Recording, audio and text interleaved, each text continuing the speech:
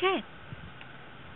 Dyer's polypore, uh, scientific name, Phaeolus schweinitziae. Not sure I'm pronouncing that right. This is the marcasite plant. Let's go ahead and see if we can get a spark here. Sometimes it takes several strikes to get a spark on this.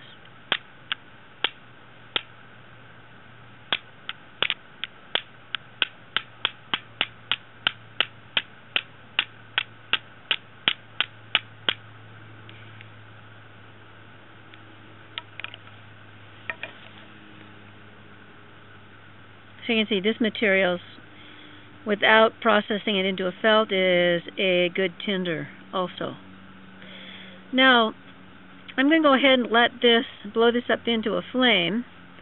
And what I'd like to do is to uh, show you another use for the polypore. This is a little fat lamp.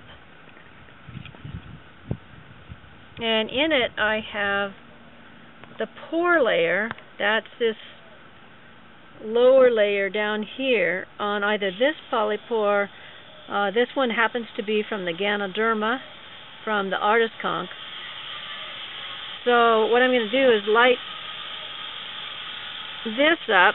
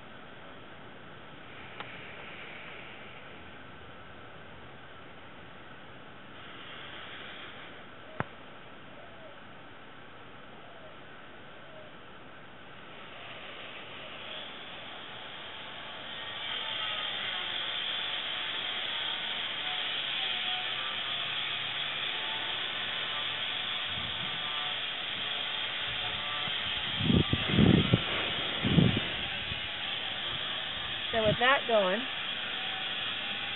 I'm going to take a little bit of this, see if I can't get this going here, so I can use it as a wick.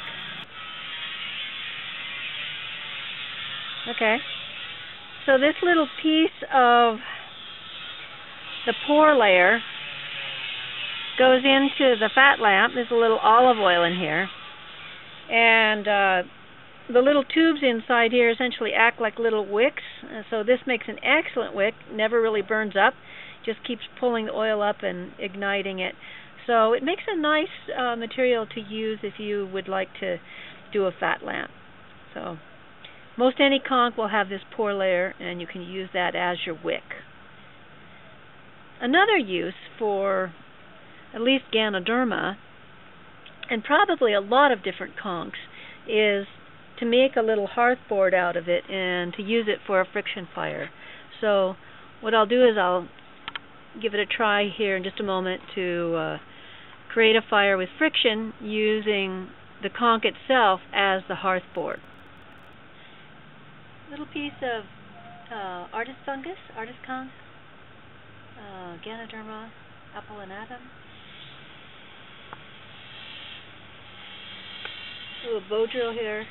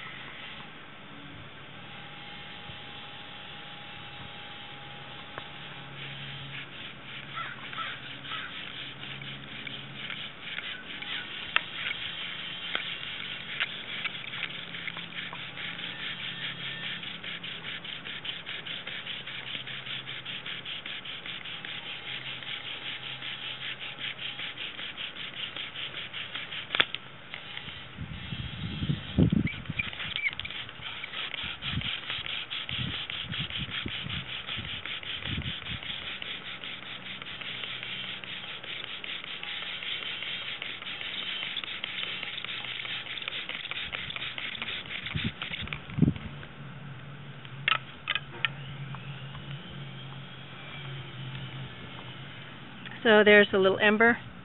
We won't blow this into flame, but you can see this does function as a hearth board. I have heard from other people that you can do this without actually cutting a notch in the side, that there's enough air circulation just with the tubes. Uh, a couple attempts I've made to do it that way were not successful, so my suggestion is to uh, cut a notch. So, that's it. Thank you for watching.